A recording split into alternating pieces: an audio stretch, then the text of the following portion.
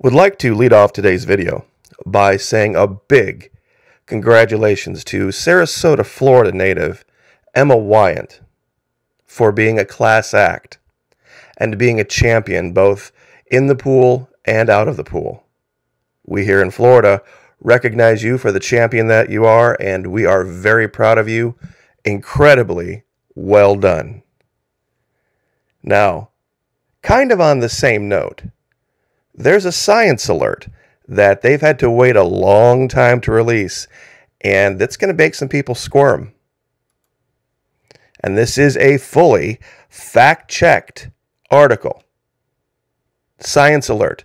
And yes, believe it or not, that is the name of a magazine, sciencealert.com. From Nature, scientists create RNA that evolves on its own. Huh. Imagine that. RNA that can evolve on its own. This could be could be how life on earth started. Well, I suppose that's one idea. We just received more evidence that life on earth may have started with RNA. Well, they got the amount of letters right. They just got them wrong here. With scientists in Japan creating RNA that can replicate, diversify, and develop complexity all on its own. Hmm. Let's keep reading. Long before Earth had its first budding cells of primordial ooze, it was awash with a churning organic soup that sat on the brink of something profound. That thin line between complex chemistry and the evolution of life represents a pivotal moment in the emergence of biology. Unfortunately, for all of its importance, we know very few details about exactly what, how, or when it happened. We're just basically making it up, is what they're saying. An experiment conducted by the scientists from the University of Tokyo has now reinforced the view that RNA's unique talents have what it takes to explain how life bubbled forth billions of years ago, backing up what's known as the RNA world hypothesis. Now, I'm sure a lot of you are asking, Florida Maquis, what is the RNA world hypothesis? Well, I'm glad you asked. We have it right here. An explainer is a proposed explanation for how life emerged on Earth just out of basic chemistry. One long standing paradox over the nature of life's origins is how modern biochemistry could possibly have evolved through natural selection to govern its own replication in the first place. Today, this process is the result of a well coordinated mix of complex molecular interactions, none of which representing a living system on their own. Let me repeat this none of which representing a living system on their own, the development of any one component in isolation raises a chicken and egg conundrum. Ribonucleic acids are a family of organic chemical units that form complex molecules capable of both encoding information and performing physical tasks. I think we should probably read that again too. Ribonucleic acids are a family of organic chemical units that form complex mo- molecules capable of both encoding information and performing physical tasks. This multitasking might have allowed, might have allowed them to enact lifelike functions on ancient Earth that slowly evolved to incorporate more advanced forms of living chemistry. Proposals for some kind of RNA world hypothesis have been around for decades. In the 1960s, scientists, including Francis Crick and American biophysicist Carl Woese, have, I hope that's how you pronounce that, have highlighted RNA's potential in performing a variety of life supporting tasks without the direct support of DNA or proteins. Hmm, DNA. You mean the thing that makes you what you are? That no matter what you identify, you can't change your own DNA? Really? Hmm. Science says that, huh? Imagine that. Accepted science says that. In 1986, American biochemist and Nobel laureate Walter Gilbert coined the term RNA world to describe a hypothetical, hypothetical state of ancient Earth that could create such diverse forms of nucleic acids, each competing in a way that imposed natural selection to encourage increasing forms of chemical complexity. The idea is still somewhat contentious. What evidence do we have? Absolutely zero. Absolutely zero. So far, evidence is mostly circumstantial. No, it's completely circumstantial or it doesn't exist. RNA can encode and copy just like DNA, while also catalyzing simple reactions more or less like proteins. This could potentially have allowed self replicating RNA based enzyme equivalents, known as ribozymes, to support the physical processes needed for making imperfect copies, giving rise to molecular evolution. Just how any one family of nucleic acid operated in a mixture raises challenging questions.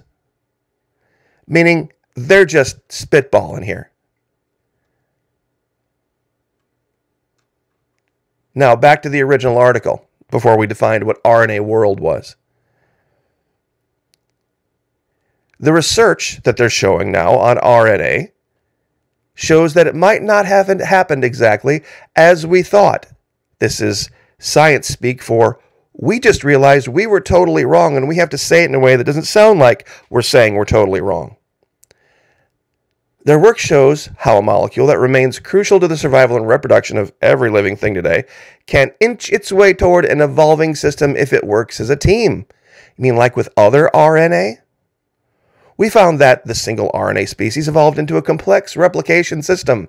A replicator, those of you who are of Stargate um, fandom will understand the term replicator here.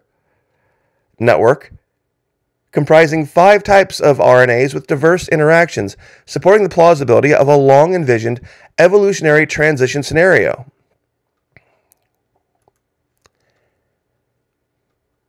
Stripped to its barest essentials, life is made up of molecules that can make imperfect copies of themselves, churning out a virtually limitless population of variants, which might or might not hold it together long enough to make copies of themselves.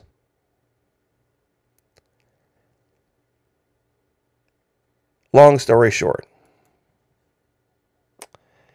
has anyone ever gone out in their yard and ever seen a squabbit,